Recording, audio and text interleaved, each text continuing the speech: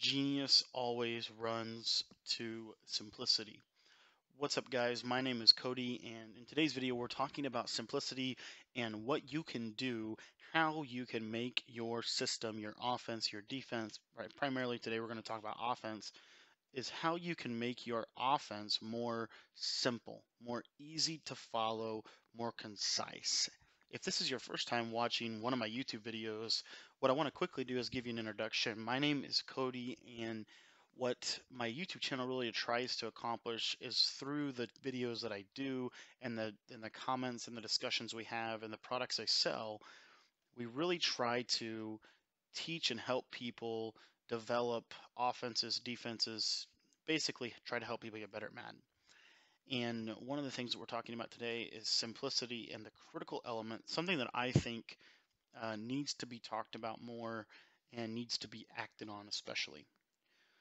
So, anyways, guys, for my offense, one of the things that I really had to learn a, a couple years back was that you can't run every formation at once. You can only really run one formation at once, and you can only run one play at once. And so, what people do from what people tend to do, what I tended to do, was I would run a, a formation or a play, and the reason that I would run the play was because I thought that it would make my offense look better. It wasn't about how good I was, it was about how it looked. So, you know, I would try to find all these bizarre plays and try to find these one play touchdowns. I would watch all the videos on the money plays, and it never really helped my offense get better uh, what it did was every now and then I would I would score a lot against somebody who didn't know what they were doing. But when I played somebody that knew what they were doing, that it was an experienced player that was pretty good, I really struggled and I couldn't really figure out what to do about it.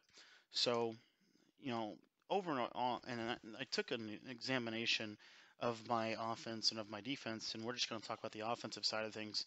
But I, I looked at my offense and I really asked myself, you know, what can I do? What is it that I'm not uh, I'm not seeing? And when I asked myself this question, one thing that really continued to come up was the fact that my playbook was so large. I was using every formation. I was using, you know, motion. I was trying to use motion to, to trick my opponent. And what it really came down to was I was thinking so much. I was thinking so much.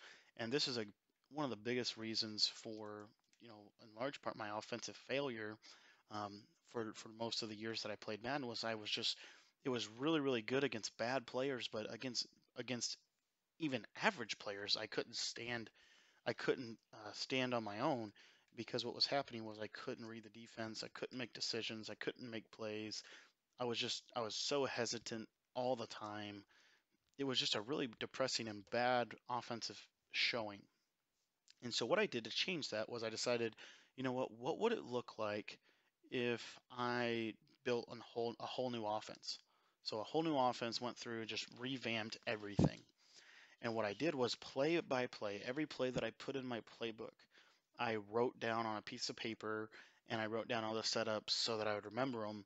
And what I remember taking away from that experience was that I had a lot of plays that had a lot of setups and they're really complicated and really good. But when I started writing them down, it started becoming fewer plays. And what I did was uh, to practice these plays, to, to basically to go through them, to figure out, you know, what how, how to run them. Essentially, what I would do is I would go into a game and I would only run one play the entire game. I would only only use one play the whole game.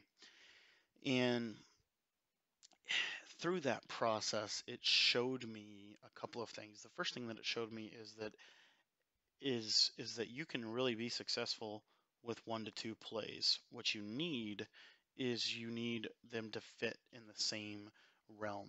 So what I mean by that is a couple of plays that fit together well are better than a lot of plays because a lot of plays don't really work together. So simplifying it down, but they have to work together. If they don't work together, you're still going to lose. So, like if I only run one play, I know that I'm still going to probably lose because they're eventually going to catch on. But if I run two plays and the second play works off the one play, I can be pretty effective. and then you know maybe added a third play for specific situations. And anyways, the magic number never really came out, but what I've been, what I have really come with this season is about five to seven plays that really work well together. And you can access those in the premium membership, which is in the description of this video. But what I would say to you guys as you are trying to simplify your playbook is what I would do is I would start completely over, take everything out, and then add back in what is absolutely essential. So you have a what you know you may what I would do is just start with one play. So if you if you could only run one play for an, an entire game, what's that one play going to be? And then the second thing that you would and then you would play a whole game with that one play and you just you just run that play over and over again, over and over again. And then what you would do is if I had to only use two plays and they had to be out of the same formation, what would the second play be? What what would I use? Okay, what would the hot routes be? And again, you can only you have to use the same hot routes. Everything has to be exactly the same. So you can only use two plays now, but they have to be out of the same formation. And you would increase that threshold. And what I would challenge you to do is use five, increase that threshold. Once you get to about five, cut it off. So you're really only going to have five plays from one formation, and you're going to, what I would challenge you to do is use that for one week. And if you do that, use five plays from one formation out of one playbook for one week, I think you would be amazed at what you're able to accomplish if you did that. So that's what I did. That's what that's the challenge that I did that really took my offense to the next level. So just want to hand that off to you guys and see what you can do but I think this is the best video that I could do to teach you how to really simplify your playbook down, which is something a lot of us really need to do because most people have too many plays and they can't actually run them. So anyways, guys, I wanted to just leave you with that and I want to thank you for watching today's video. Again, if you want the plays that I use, you can use those plays. They are in the premium membership. So just click that link in the description and purchase that premium membership and you will get access to it. Um, those of you that are premium members, if you have not already checked your email or the playlist, and um, you will see there's a new video out for the premium members. So anyways, guys, thank you so much for watching today's video, and let me know if you have any questions. Just leave them in the comments,